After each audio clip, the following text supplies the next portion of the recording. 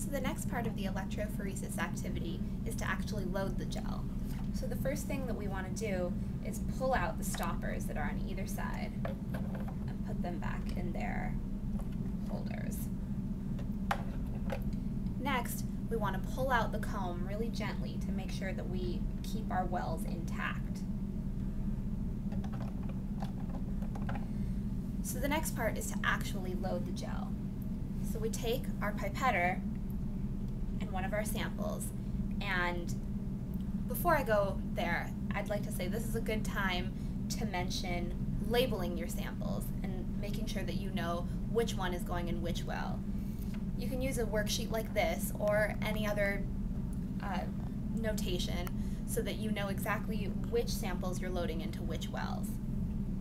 So after we've written that down, we can actually go ahead, take our pipetter, put a tip on it, and the first thing we want to do is push out all the air inside so we don't get any air bubbles. We put our tip into our sample and draw the liquid up slowly. Once it's in the tip, we can go into one of the wells and so we want to make sure that our tip is inside the well but not touching the bottom to ensure that we're, again, keeping our wells intact. So we push down to evacuate all the liquid from inside the tip and then we come back out. Being very gentle to make sure that we're keeping our wells intact. Before we move to our next sample, we want to switch to a new tip to make sure that we're not contaminating from one sample to another So we've got one more sample to load here. And again, we're going to push out all the air then draw up the liquid slowly.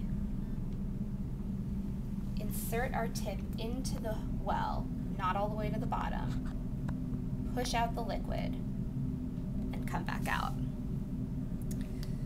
So once we have all of our samples loaded and it's all properly documented, the next step is going to be to put buffer solution in. So we want to pour this very slowly and carefully to make sure that we're not displacing the sample that we've already loaded into the wells.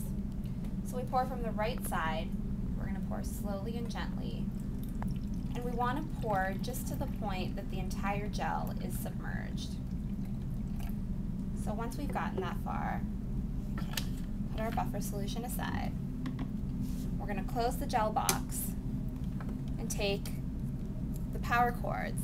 We're going to plug the black side into the black, the red side into the red. And then we look over at our power supply, which has the same corresponding colors plugged in. And we're going to turn it on to 150 volts.